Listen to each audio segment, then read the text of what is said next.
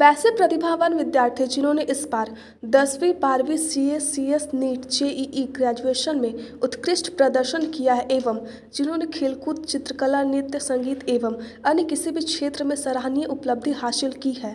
उन्हें 14 अगस्त दिन रविवार को सुबह 10 बजे कॉर्मिल स्कूल के निकट पैराडाइज रिजॉर्ट में सम्मानित किया जाएगा। अजय जान व सीमा जान ने संयुक्त रूप से बताया कि इस सम्मान समारोह में बच्चे अपने अभिभावक के साथ अनिवार्य रूप से उपस्थित हो।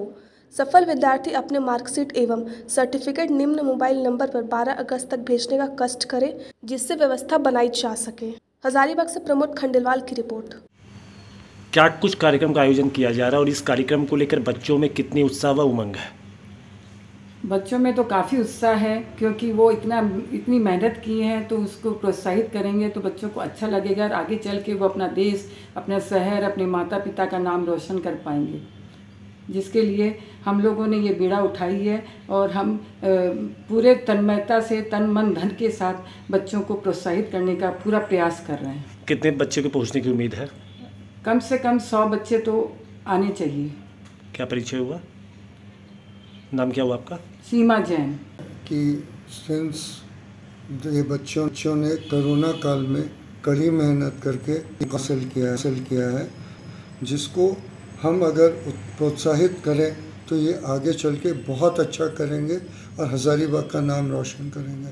अपना तो करेंगे ही अपने परिवार का करेंगे अपने इंस्टीट्यूट का करेंगे अपने टीचर्स का करेंगे बट इसके साथ हमारे शहर का नाम स्वर्णिम अक्षरों से लिखा जाए इसी के लिए अथक प्रयास है।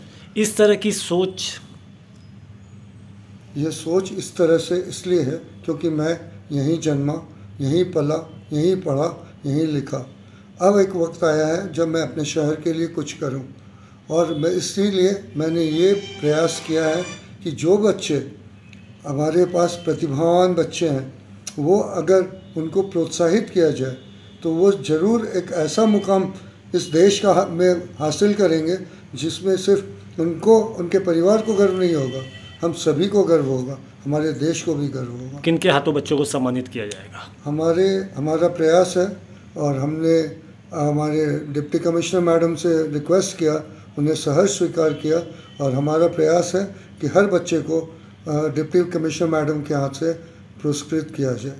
क्या परिचय हुआ? वो यहाँ के आपका परिचय क्या हुआ? मैं मेरा नाम अजय जैन है। मैं academy for creativity and excellence का डायरेक्टर हूँ। और